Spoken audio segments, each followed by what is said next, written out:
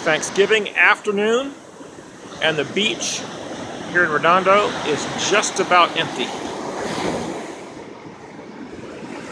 Everyone's out getting their Black Friday big screen TV bargains and my girls are loving the beach. Priceless.